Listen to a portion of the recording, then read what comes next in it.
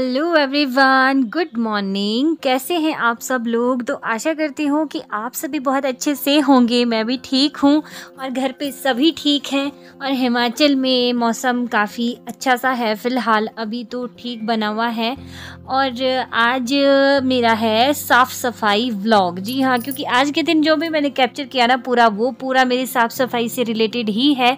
तो कैसे करके करती हूँ मैं घर की साफ़ सफ़ाई और बाकी सारे काम जो है ना वो मैंने कर लिए थे। जैसे कि बच्चों को स्कूल भेजने का, सुबह के टाइम काउ शेड का, बच्चों को नाश्ता वगैरह दिन का लंच बनाया स्कूल भेजा, उसके बाद किचन का सारी साफ़ सफ़ाई अभी मैं पहुँची हूँ बाहर हॉल में और मेरी एक सब्सक्राइबर हैं, वो हमेशा मुझसे कहते रहती है प्लीज़ आप अपने घर का होम टूर करवाओ।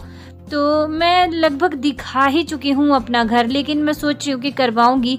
अभी क्या है ना कि हमारे घर में थोड़ा सा काम भी रहता है एक। मैं सोच रही थी कि जब वो कंप्लीट हो जाएगा, तभी मैं दिखाती।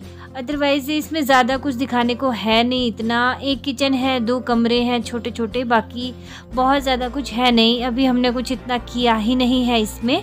तो अभी थोड़ा थोड़ा करके अब घर बनाना आसान है बट घर को सजाना और घर को व्यवस्थित रखना बहुत मुश्किल काम है। खास कर गाँव में रहने वाली गृहिणियों के लिए जो कि पशुओं का, घास का, खेत का काम भी साथ में करते हों तो चलो खेत का तो हमारे इतना ज़्यादा नहीं होता, लेकिन पशुओं का तो बहुत है भाई, हमारे आठ नौ गाय हैं।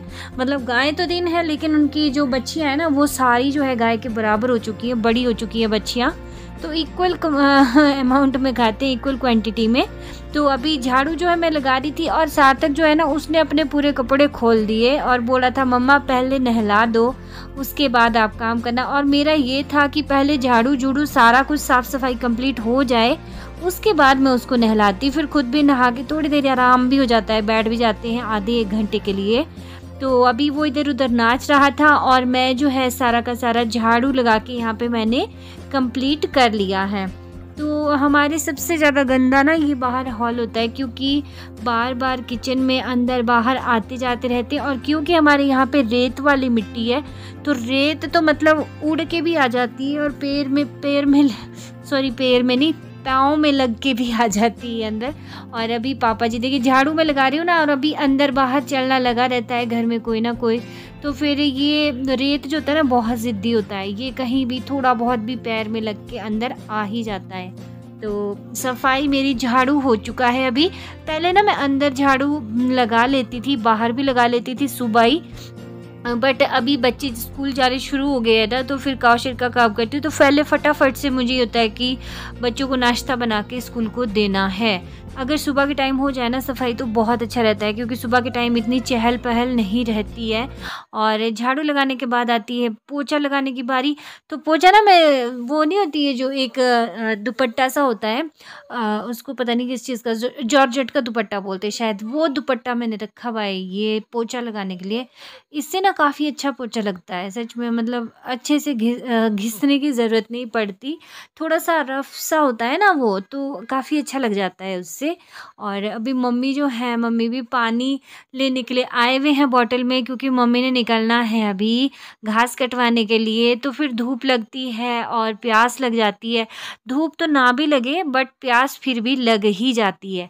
तो पापा जी जो हैं वो नहाने की तैयारी कर रहे हैं और मम्मी घास को जाने की। तो आप लोग कहते हैं ना कि आप पूरी फैमिली दिखाया करिए व्लॉग में। तो ऐसे थोड़ा बहुत तो मैं दिखाती ही हूँ।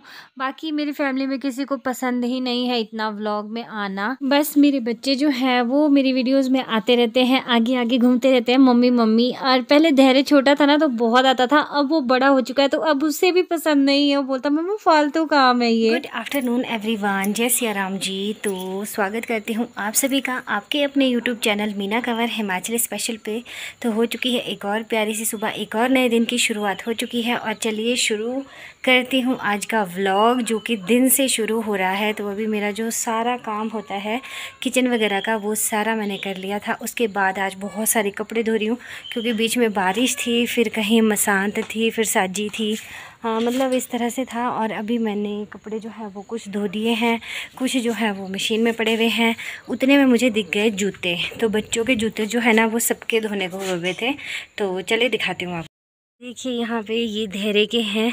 इसको मैंने धो लिया है और अभी इनको मैं धूप में सूखने के लिए रखा हुआ है मैंने। इसके लेसेस जो हैं वो मैंने ऐसे ही रखे हुए इसके साथ ही। नहीं तो ना गुम हो जाते कई बार। ये है। साथ ही में नैना के यहाँ पे स्कूल शूज़ हैं तो उनको भी मैंने ये धो लिया है वॉश कर लिया अच्छे से। ये देखिए, सफ़ेद हो गए हैं बिल्कुल बाहर से। अंदर से ज़्यादा नहीं किया, क्योंकि कल ही जाने हैं ये तो कहीं गीले ना रह जाए। और ये है नैना के एक और जूते। नैना के जो मतलब हम बोलते हैं जाने आने वाले जूते। तो ये वाले शूज़ जो हैं, ये मुझे धोने हैं। ये ना बहुत अच्छे शूज़ होते हैं मतलब वॉशेबल इनको जैसे मर्ज़ी धो लो, ख़राब नहीं होते। और इसका जो वो होता है ना, ये मैंने निकाला हुआ है अभी। ये देखो, इसको मैं अलग अलग वॉश करूँगी। ये तो लगभग हो ही चुके हैं अब, थोड़े बहुत रहते हैं। इनको मैं अच्छे से साफ़ कर रही हूँ।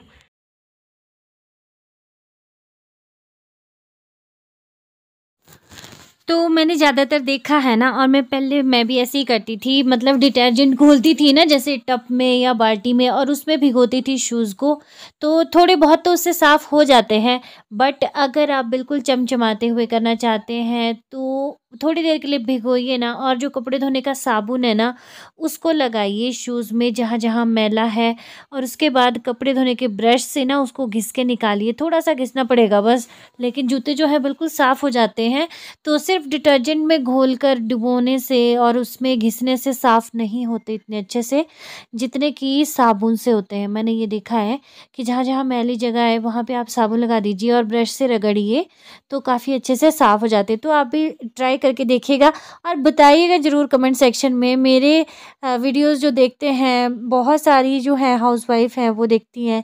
आप लोग किस तरह से धोते हैं अपने बच्चों के शूज़ इसी तरीके से धोते हैं ना, सारी की सारी हाउस वाइफ मुझे लगता है ऐसे ही काम करती हैं, क्योंकि हम बहुत ज़्यादा होती हैं बजट फ्रेंडली भी होती है और टाइम भी कम लगे। तो अगर डिटर्जेंट से करना हो तो बहुत टाइम लगता है उसमें साफ़ करते करते लेकिन जल्दी का काम करना हो तो बस कुछ डिटर्जेंट में डुबोए, उसके बाद फिर साबुन लगा कर घिस लिए तो जल्दी हो जाते हैं साफ़। और यहाँ पे ये वाले शूज़ जो है ना वाइट वाइट कलर के होते हैं, बहुत जल्दी गंदे हो जाते हैं। तो ये वैसे नैना कभी कभी पहनती है जब कहीं आना जाना होता है तो बाकी ऐसे ज़्यादातर नहीं। तो इसको ना मैं धोकर रख दूँगी क्योंकि सर्दियाँ जो हैं वो आएँगी तो फिर सर्दियों के लिए चाहिए होते हैं ये वाले शूज़। और इसमें यह है कि मतलब गर्मी सर्दी का कोई ऐसे इशू नहीं होता। आजकल जो लड़कियाँ जीन्स पहनती हैं तो वो जीन्स पे हमेशा बारह महीने शूज़ ही पहनती है। ऐसा कुछ नहीं है कि वो सैंडल पहनती हो या कुछ और। आजकल मतलब फ़ैशन ही कुछ ऐसा बन चुका है बच्चों का, बच्चे स्पोर्ट्स शूज़ में ही रहते हैं हमेशा।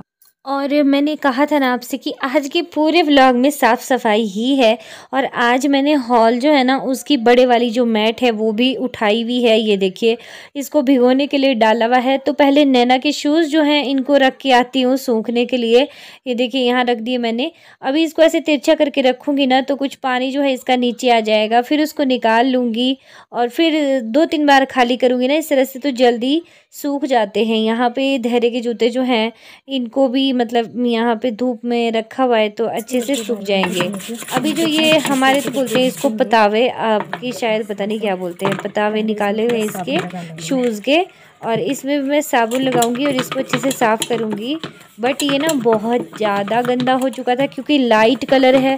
तो जब बहुत ज़्यादा गंदा हो जाता है ना लाइट कलर तो प्रॉपर वो साफ़ नहीं होता। इसके गंदे होने का कारण मैं आपको बताती हूँ। इतना गंदा नहीं होता था इस बार क्या हुआ ना, नैना गई हुई थी। दादी के साथ गई थी, मुझे याद नहीं कहाँ ले गई थी वो। और वहाँ पे जाके उसने जैसे शूज़ खोल दिए सॉक्स खोल दी ना और ऐसी मिट्टी वाले पाँव से दोबारा से इसको लगा लिया। और उसकी वजह से ये बहुत गंदे हो गए। वैसे ये साफ़ भी हो चुके काफ़ी, लेकिन उतने ज़्यादा साफ़ नहीं हुए जैसे कि होने चाहिए थे। तो यहाँ पे बस इनको भी मैंने साफ़ कर लिया है। अब बहुत ज़्यादा साफ़ करने लगूँगी ना तो फट ही ना जाए कहीं। तो फटा हुआ तो बिल्कुल अच्छा नहीं लगेगा। तो मुझे इतना ही ठीक लग रहा था ये। और अभी सबसे बड़ा जो है यहाँ पे रहा हुआ है काम करने को, ये मैट जो है ना इतनी भारी है। और इसको भी मैं मतलब इसी तरीके से धोती हूँ। जैसे कपड़े धोए थे ना और उसका पानी मैंने इसके ऊपर को डाल दिया था। जैसे मशीन में से पानी निकलता है तो उसको मैंने मैट के ऊपर डाल दिया था। अभी जो कपड़े धोने का ब्रश है, इससे मैं इसको घिस घिस कर साफ़ करूँगी। तो इससे क्या होता है ना, जो भी कुछ छोटा मोटा कचरा वगैरह होता है, बाल वगैरह गिरे हुए होते हैं, मैट पे लगे हुए होते हैं, वो सारे के सारे इससे साफ़ हो जाते हैं बहुत अच्छे से। और फिर मैं इसको निकाल निकाल के साइड करती रहती हूँ। तो ये मैट जो है, मैंने शायद दो महीने पहले धोआ था, अभी बहुत टाइम हो गया था इसको धोए हुए। आज मैंने निकाल ही लिया इसको धोने का मुहूर्त। सोचा कि सारी की सारी जो है सफ़ाई अच्छे से हो जाएगी। मुझे ना एक वो है, क्या बोलते हैं उसको? मतलब गंदी नहीं देनी चाहिए कोई भी चीज़। मैं साफ़ करती रहती हूँ। और मेरे बच्चे ऐसे हैं कि मैं आगे आगे साफ़ करती रहती हूँ पीछे पीछे तबाही फैलाते रहते हैं। मुझे लगता है कि सभी के बच्चे ऐसे होते होंगे, है ना? और मैं ना आप लोगों के साथ ऐसी बातें करती हूँ, जैसे कि मैं अपने परिवार के साथ बातें करती हूँ तो आप लोगों को कैसी लगती है बताइएगा ज़रूर। ऐसा तो नहीं है कि कहीं बोरी हो जाते होंगे ना, बहुत ज़्यादा बोलती भी हूँ कई बार, मुझे लगता है। और उम्मीद करती हूँ कि मेरी आज की वीडियो जो है आप लोगों को अच्छी लगी होगी। अच्छी लगी हो तो प्लीज़ वीडियो को लाइक करें, शेयर करें चैनल पे फ़र्स्ट टाइम विज़िट कर रहे हैं, चैनल को सब्सक्राइब ज़रूर करें। तो अभी नलके से पानी निकालते बहुत टाइम लग रहा था तो मैंने एक ड्रम में से निकाल लिया ना यहाँ पे बाल्टी को, और ये देखिए कुछ इस तरह से मैं एक एक साइड से लेते हुए पहले इसको साफ़ करती रहूँगी, फिर उसको साथ में फोल्ड भी करती रहूँगी, पीछे को फोल्ड करती रहूँगी, और फिर अगला हिस्सा जो है उसको साफ़ करूँगी, उसको फिर आगे से और फोल्ड करूँगी तो इस तरह से है ना ये अच्छे से साफ़ हो जाती है।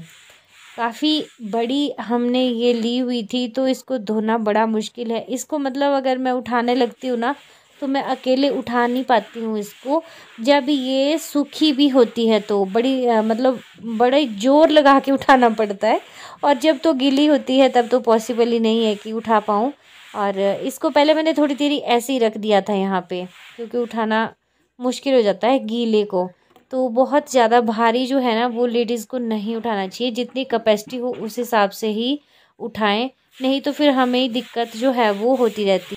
और इस मैट को धोने के लिए ना, साबुन का इस्तेमाल बिल्कुल ना करें, सच में। इस मैट को धोने के लिए जो डिटर्जेंट होता है ना, उसी का यूज़ करें। क्योंकि साबुन जो है ना, कई बार इसमें वैसे ही निशान रह जाते हैं। अगर अच्छे से नहीं घिसा होगा ना, कहीं पे छूट गया तो फिर वहाँ पे निशान वैसे ही रह जाते हैं। तो इसके लिए बेस्ट है कि जो साबुन, ये डिटर्जेंट का पानी होता है डिटर्जेंट को घोल लें पानी में और उससे इसको अच्छे से क्लीन करें। तो अच्छे से ये साफ़ हो जाती है। तो आज पूरा व्लॉग जो है वो साफ़ सफ़ाई का व्लॉग ही रहा और सार्थक जो है ना वो भी अभी खेल रहा था। नहाने के बाद फाइनली काफ़ी खुश हो गया था। मैं भी जो है यहाँ पे नहा चुकी हूँ। हेयर वॉश मैंने कर लिया है। और अभी उसको ये मतलब नहा लिए ना तो फिर तसल्ली हो जाती है। तो चलिए जी, आज के व्लॉग का एंड जो है यहीं कर रही हूँ। उम्मीद करती हूँ आपको वीडियो अच्छी लगी होगी। कुछ ना कुछ छोटी मोटी बातें जो है वो आप शायद सीखें भी होंगे इससे। मुझे लगता है कि ये सारी बातें तो पहले से ही सभी को आती होंगी, नहीं आती होंगी तो कोई ना कोई तो सीखा ही होगा। और मिलूँगी आपसे एक और नई वीडियो, एक और नए ब्लॉग के साथ। तब तक के लिए खाते पीते रहिए, मस्त रहिए, खुश रहिए। और ज़िंदगी का कोई पता नहीं कब क्या हो जाए तो दिल खोल के जिए, दिल खोल के हंसीए। अपने आप भी खुश रखिए, औरों को भी खुश रखिए। क्योंकि हमारे साथ सिर्फ़ यही जाता है कि हमने किसी को खुशी दी है, कुछ अच्छे कर्म किए हैं, वही सारी चीज़ें हमारे साथ जाती है। बाकी कुछ नहीं जाएगा, सब कुछ यही छूट जाता है। तो चलिए, सारा काम ख़त्म होने के बाद देखिए, यहाँ पे हो चुका है लंच का टाइम। आज बनाई है उड़द की दाल और साथ में चावल, रोटी और करेले की सब्ज़ी जो है वो भी बनाई हुई थी हमने रात को। जो करेले ख़राब नहीं होते। करेले तो हम मतलब दो तीन टाइम तक भी खाते रहते हैं इसको। क्योंकि बहुत पसंदीदा। और यहाँ पे आज मैंने अपना फेवरेट सलाद काटा हुआ है। प्याज है टमाटर है और थोड़ा सा खीरा है मूली है। तीन चार चीज़ें काटी हुई हैं आज और अभी चलिए खाना खा लेते हैं। आप लोग भी खा लीजिए हमारे साथ और व्लॉग का एंड यही कर रही हूँ। मिलूँगी आपसे कल एक और नई सुबह एक और नए व्लॉग के साथ। तब तक के लिए खाते पीते रहिए मस्त रहिए। जय सिया राम।